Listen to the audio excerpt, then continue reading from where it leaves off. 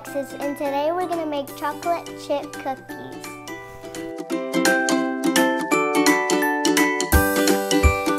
Before we get started, give this video a like.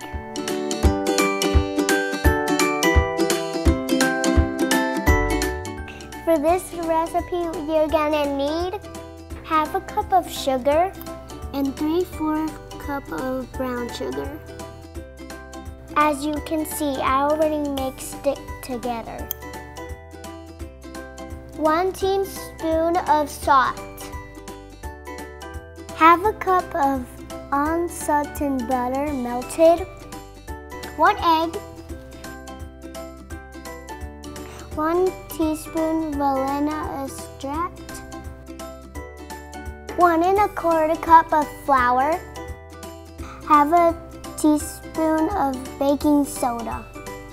Four ounces of chocolate chips and M and M's.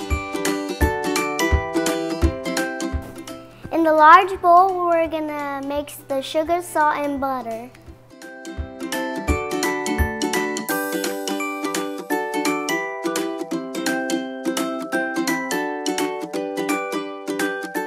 Make sure your oven is at 350. Now we're gonna whisk in the egg and then the vanilla. Now we're gonna add the flour and the baking soda.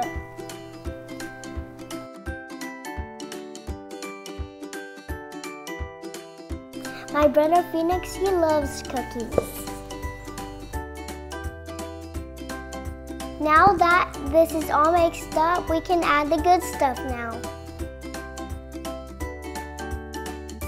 If this is a little hard, don't be shy and use your hands. Make sure you wash them first. Now that the dough is ready, it's time to put them on the pan. Roll them in your hands and make a little ball.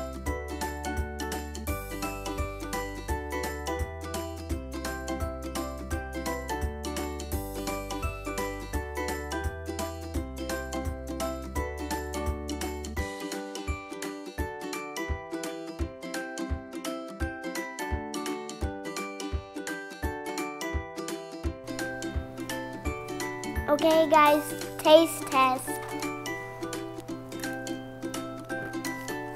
Mmm.